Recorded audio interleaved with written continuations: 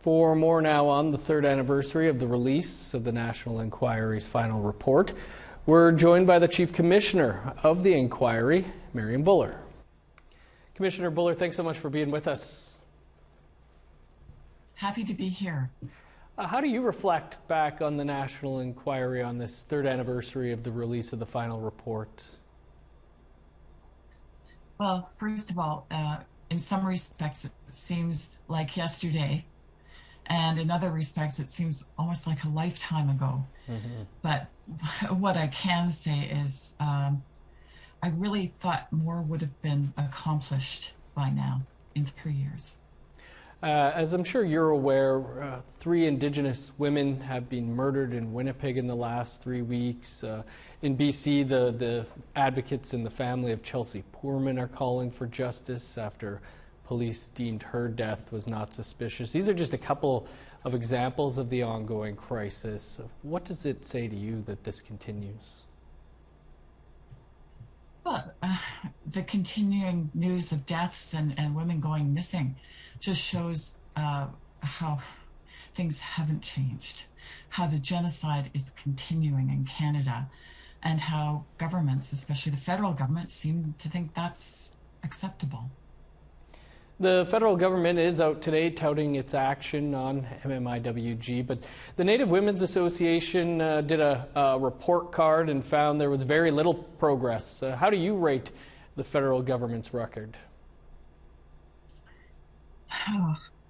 well, first of all, it's, it's difficult for an ordinary citizen to find out what the federal government has actually accomplished in terms of implementation of our calls for justice I don't have access to any insider information.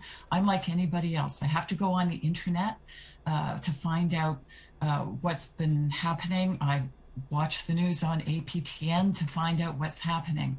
And it's just really difficult to find out, uh, you know, what money has been promised, what money has actually been spent, and what, if any, are the benefits of that expenditure. So um, I'm a bit in, in the dark, to be honest with you, because there just isn't an easy way to get that information. You and I spoke earlier this year. You, you talked about how you felt the federal government wasn't supporting the inquiry from before really it even started. It uh, sounds like there's zero, uh, zero interaction with uh, yourself or commissioners now. Well, I can't speak for the other commissioners, but no, I, uh, my mandate my job as chief commissioner ended on June 30th, 2019.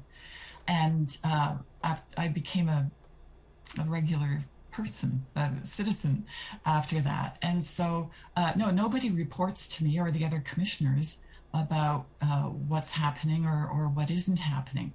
So I'm like you and, and like your viewers, I have to do the internet searches. I have to, you know, uh, maybe pick up the phone and call somebody once in a while uh, I'm, yeah, I'm like you. Uh, Commissioner, what would you like to see happen? Well, uh, what I'd like to see is some evidence of a shift in the way of thinking. You know, the uh, federal government has announced the expenditure of billions of dollars over a period of time. Uh, we don't know how much of that, or we don't know easily how much of that money has been spent and we don't know easily whether that's been productive or not. Um, so, having said that, I wish I could start to see a shift in thinking away from um, feeling symptom. How to describe it? Instead of uh, seeing problems, indigenous issues, as being gaps in services that need band aids in the way of money, shift that way of thinking to looking at systemic failures and fixing the systemic failures. We know that the child welfare system is broken. We know that the criminal justice system and corrections is broken. We know that uh, there are so many problems with education and housing on reserve land, for example. We know in the North, Inuit have a whole other list of priorities. So, you know, uh, what I'd like to see is let's get away from the band, very expensive band aid measures that really don't solve the problem. And let's start looking at systems and changing the systems that are causing the problems. Good, uh, good things there. Uh, Commissioner, we're, we'll have to leave it there, but a pleasure as always to speak with you. My pleasure as well. Thank you so much.